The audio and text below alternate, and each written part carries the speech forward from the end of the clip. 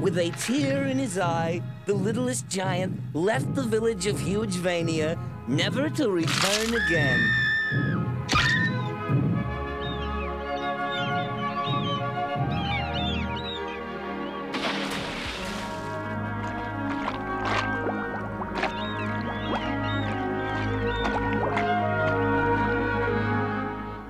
Meanwhile, in the village of uh, Thumbsville,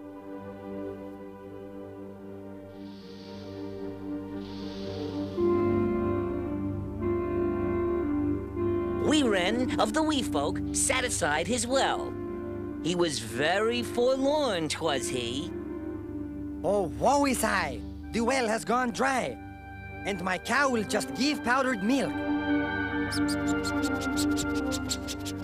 I tell you no lie, my sow she does fry, and my chickens ah! they only lay still.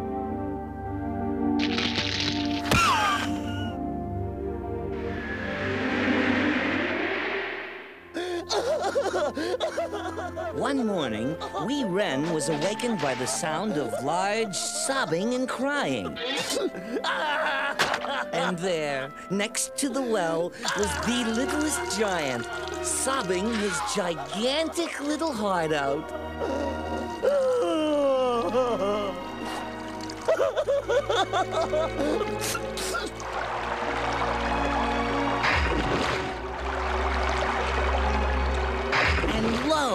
the little giant's tears filled up the well to overflowing.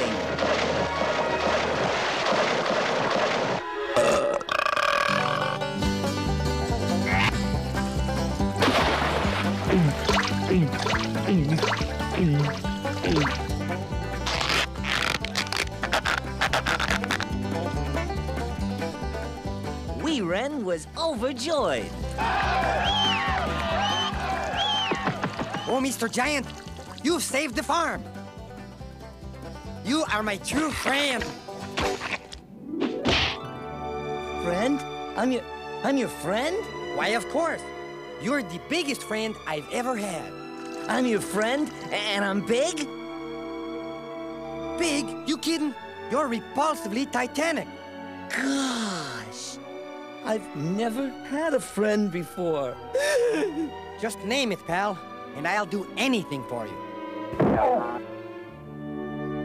Anything? That's right, anything. Really? Absolutely anything? Anything you say, man. Anything my tiny heart desires? Yes, anything, you fat, bloated idiot!